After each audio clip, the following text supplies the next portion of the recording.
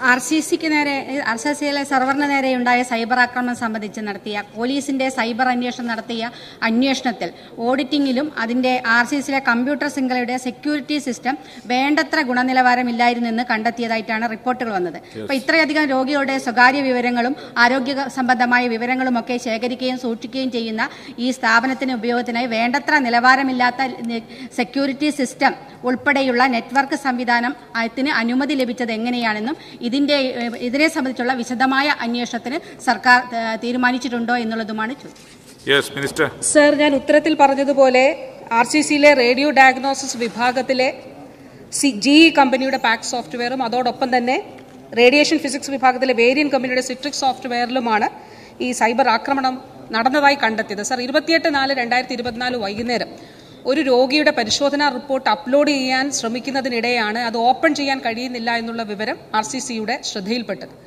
ഉടനെ തന്നെ അവിടുത്തെ സൈബർ ഇൻഫർമേഷൻ സിസ്റ്റം ഇത് സംബന്ധിച്ചിട്ടുള്ള കാര്യങ്ങൾ അന്വേഷിക്കുകയും മറ്റ് സിസ്റ്റത്തിലേക്ക് ഇത് വ്യാപിച്ചിട്ടില്ല എന്നുള്ളത് ഉറപ്പാക്കുകയും ചെയ്യുന്നു സാർ ഏതാണ്ട് മണിക്കൂറുകൾക്കുള്ളിൽ തന്നെ അവർ നടപടികൾ സ്വീകരിച്ചിട്ടുണ്ട്. അതിന് തൊട്ട് പിറ്റേന്ന് രാവിലെ വേരിയൻ കമ്പനിയുടേതായിട്ടുള്ള റേഡിയേഷൻ ഫിസിക്സ് വിഭാഗത്തിലുള്ള ഒരു സിസ്റ്റത്തിലും ഇതുപോലെ അപ്ലോഡ് ചെയ്യാൻ ശ്രമിച്ചപ്പോൾ അവിടെ സാധിക്കാതെ വന്നു. അപ്പോൾ ഡേറ്റ എൻക്രിപ്റ്റഡ് ആണ് എന്നുള്ളത് മനസ്സിലായി. ഏതാണ്ട് വിതിൻ നോട്ട് ടൈം മണിക്കൂറുകൾക്കുള്ളിൽ തന്നെ നടപടികൾ സ്വീകരിച്ചു സർ സർ ഇതിൽ രണ്ട് പ്രധാനപ്പെട്ട കാര്യങ്ങളുണ്ട്. ഈ ഇത് രണ്ട് കമ്പനികളുടെ സോഫ്റ്റ്വെയറാണ് എന്നാൽ ആർ സി സിയുടെ മേജർ ആയിട്ടുള്ള സിസ്റ്റത്തിനോ സെർവറുകൾക്കോ ഒരു കേടുപാടും അല്ലെങ്കിൽ ഒരു അറ്റാക്കും അതിനെതിരെ നടന്നിട്ടില്ല. അതിന് പ്രധാനപ്പെട്ട കാരണം ആർ സി സിയുടെ മേജർ ആയിട്ടുള്ള സോഫ്റ്റ്വെയറുകളും അല്ലെങ്കിൽ സെർവറുകൾ അത് പ്രൊട്ടക്റ്റഡ് ആയിരുന്നു എന്നുള്ളതായിരുന്നു.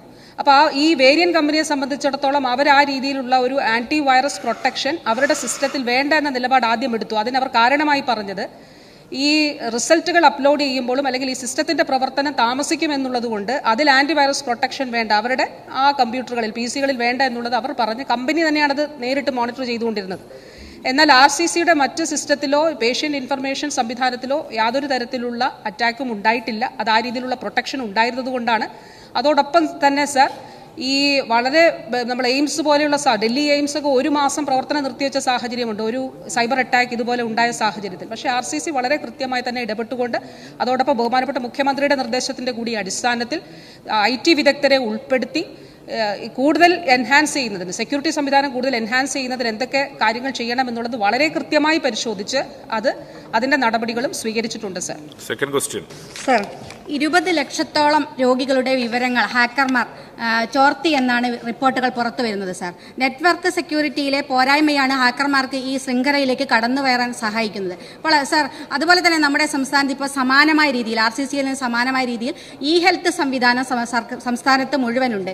ഈ ഇ ഹെൽത്ത് സംവിധാനത്തിൽ ഇതുപോലെയുള്ള രോഗികളുടെ ഈ വിവരങ്ങളൊക്കെ ശേഖരിക്കുകയും കൈകാര്യം ചെയ്യുകയും ചെയ്യുന്ന പ്രവർത്തനങ്ങൾ അത് ഹാക്കിംഗ് നടക്കുന്നില്ല എന്ന് ഉറപ്പുവരുത്താൻ സർക്കാർ എന്തൊക്കെ നടപടികളാണ് സ്വീകരിച്ചിട്ടുള്ളത് എന്ന്. സാർ സർ ബഹുമാനപ്പെട്ട അങ്ങ് രണ്ട് കാര്യങ്ങളാണ് പറഞ്ഞത്. ഒന്ന് ആർ സി സിയുമായി ബന്ധപ്പെട്ടിട്ടുള്ള കാര്യം. അതിൽ ഈ സിസ്റ്റം സംബന്ധിച്ച് വളരെ പ്രധാനപ്പെട്ടത് നമ്മൾ അറിയേണ്ടത് ഈ രോഗികളുടെ പ്ലാൻ സംബന്ധിച്ച് പരിശോധന സ്കാനിംഗ് സംബന്ധിച്ച് അല്ലെങ്കിൽ മറ്റ് പരിശോധന സംബന്ധിച്ച പ്ലാൻ മാത്രമാണ് ഉണ്ടായിരുന്നത് ഇതിൽ.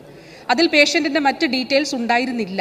പിന്നെ ഐ ടി വിദഗ്ധർ പറയുന്ന മറ്റൊരു കാര്യം സാർ ഈ ഡേറ്റ അവർ കവർന്നതായിട്ട് നമുക്ക് യാതൊരു തെളിവുമില്ല. അവർ കവർന്നിട്ടുണ്ടായിരുന്നു എങ്കിൽ ബ്ലാക്ക് വെബിൽ ഉൾപ്പെടെ അത് പ്രസിദ്ധമാകുന്ന അല്ലെങ്കിൽ അത് വരുന്ന ഒരു സാഹചര്യം ഉണ്ടാകുമായിരുന്നു. പക്ഷേ ആർ സി സിയിലുള്ള ഒരു ഡേറ്റയും ആ രീതിയിൽ ബ്ലാക്ക് വെബിലൊന്നും ഇതുവരെ അത് പ്രത്യക്ഷപ്പെട്ടിട്ടില്ല. അതുകൊണ്ട് ഡേറ്റ ആ രീതിയിൽ ഹാക്ക് ചെയ്യപ്പെട്ടിട്ടില്ല. ഡേറ്റ എൻക്രിപ്റ്റ് ചെയ്യപ്പെട്ടിട്ടുണ്ട്. പക്ഷേ ഹാക്ക് ചെയ്യപ്പെട്ടിട്ടില്ല എന്നുള്ളതാണ് അല്ലെങ്കിൽ ആ- ആ രീതിയിൽ അവർ എടുത്തിട്ടില്ല എന്നുള്ളതാണ് മനസ്സിലാക്കുന്നത്. രണ്ടാമത്തെ കാര്യം സാർ ഇ ഹെൽത്തുമായി ബന്ധപ്പെട്ടിട്ടുള്ള കാര്യം സ്റ്റേറ്റ് ഡാറ്റാ സെന്ററിലാണ് ഇ ഹെൽത്തിന്റെ എല്ലാ ഡേറ്റകളും സൂക്ഷിക്കുന്നത്. അതുമാത്രമല്ല ഈ രീതിയിലുള്ള പ്രൊട്ടക്ഷനുകൾ ആന്റിവൈറസ് പ്രൊട്ടക്ഷൻ ഉൾപ്പെടെയുള്ള കാര്യങ്ങൾ അതിൽ കൃത്യമായിട്ട് ഉറപ്പാക്കിക്കൊണ്ടാണ് ഇ ഹെൽത്തിന്റെ സംവിധാനങ്ങൾ മുന്നോട്ട് പോകുന്നത്. ഇ ഹെൽത്തിൽ പരിശോധിക്കുന്ന doctor with the permission of patient പേഷ്യന്റിന്റെ അനുവാദത്തോടെ ഡോക്ടർക്കും മാത്രമേ ആ രണ്ട് വ്യക്തികൾക്ക് പേഷ്യന്റിനാണ് അതിൽ പൂർണാധികാരം അത് പേഷ്യന്റിന്റെ അനുവാദത്തോടെ ഡോക്ടർക്കും ഈ ഡീറ്റെയിൽസിലേക്ക് കാണാൻ കഴിയും. മറ്റൊരാൾക്കും ഒരു വ്യക്തിയുടെ മറ്റു വിവരങ്ങൾ സ്വകാര്യമായ വിവരങ്ങൾ രോഗവിവരങ്ങൾ കാണാനായിട്ട് കഴിയുന്നതല്ല.